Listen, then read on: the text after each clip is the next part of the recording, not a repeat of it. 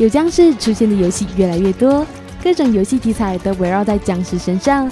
这款 Zombie Smash 虽然也是打僵尸的游戏，不过设定上要玩家守护着房子不被入侵，还算是少见的。在无数的僵尸围攻下的房子，里面是为了生存而努力战斗的主角。玩家可以用许许多多的道具来帮助他，比如炸弹、石块等等，超过二十种的武器。甚至也可以把僵尸抛上空中，再让它摔下来。